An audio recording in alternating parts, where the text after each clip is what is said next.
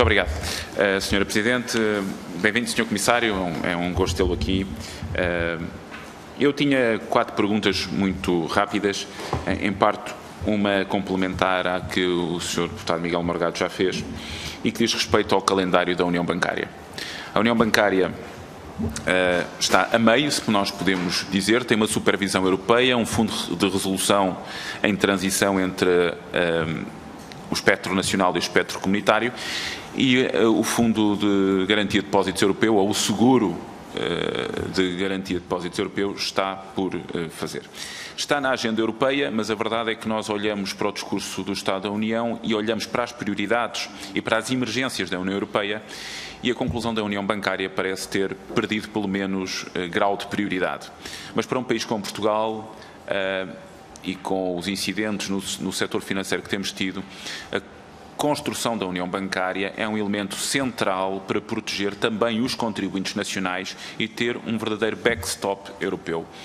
E nós vemos, de alguma forma, que a Comissão, em função da emergência da questão das migrações e dos refugiados, que é normal e natural e é um tema muito importante, terá deixado esse assunto mais de lado e não terá tido também o acompanhamento necessário, como disse, por parte do Parlamento Europeu. Contudo, nós precisamos de recolocar este assunto na agenda e tem que ser um, um assunto com emergência para poder ser uh, resolvido.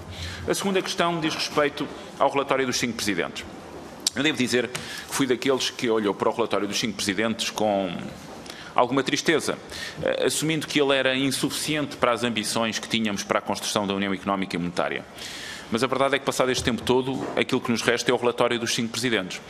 E, ainda assim, nós não vemos luz sobre esse relatório, não vemos que as etapas e a conclusão das suas etapas possa tenha o andamento que nós gostaríamos e não temos visto também por parte da Comissão Europeia grande, grande opinião e grande afirmação pública quanto à necessidade de executar o relatório dos cinco presidentes. Esta é a segunda questão. Ligada à questão do relatório dos cinco presidentes e do, financiamento, da construção de uma, de uma possibilidade de ter um orçamento da zona euro e até ao reforço do orçamento da União Europeia, eu gostava de sublinhar um aspecto. Há uma grande discussão em torno dos recursos próprios. Eh, aliás, esta comissão e outras comissões eh, desta, desta Assembleia da República foram ainda há pouco tempo a Bruxelas para discutir num quadro interparlamentar a possibilidade eh, de termos o reforço dos, dos recursos próprios da União. Mas, em bom rigor, nós ficámos no meio da discussão entre, como dizia a senhora Vice-Presidente da Comissão, entre os amigos do rebate, os amigos da coesão e os amigos da agricultura. E a verdade é que nos preocupa que esta discussão de fundos próprios seja discutida ao mesmo tempo que parece ser dado, ou ser dada na União, uma prioridade a fundos específicos em torno daquilo que é a política de coesão e a política de convergência.